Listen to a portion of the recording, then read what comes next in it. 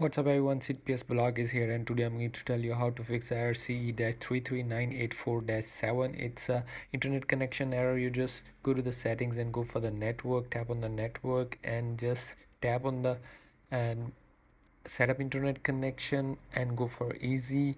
You just use a LAN cable from your router to your PlayStation 4 because LAN cable is a better than the Wi-Fi. It make faster internet and no lag for no wait. So we are going to just test our internet connection. Here we are.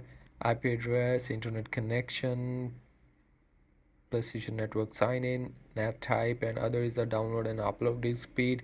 And after that, you just go check your PlayStation Network services. All is up. Sometimes server is down. That's why it's not working. Your network or you're not going to sign in or play online. So that's how you can fix this error. If you want to ask me a question, then write in the comment See you soon for the next one.